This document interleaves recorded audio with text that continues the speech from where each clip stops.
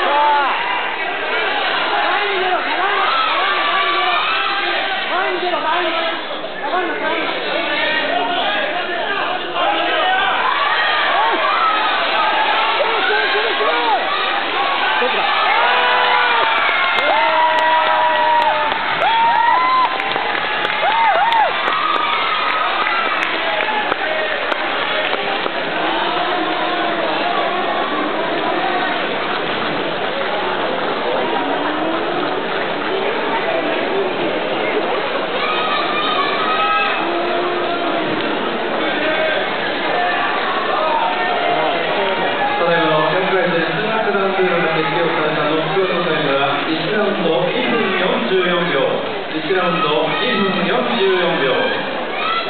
慶応学により視聴者赤コーナー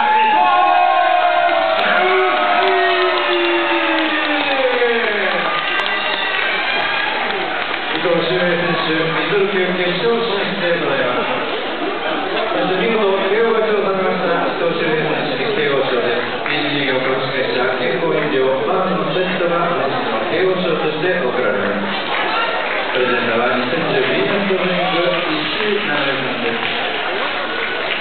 引き続きまして、指定の皆さんによる、勝利者インタビューをお願いします。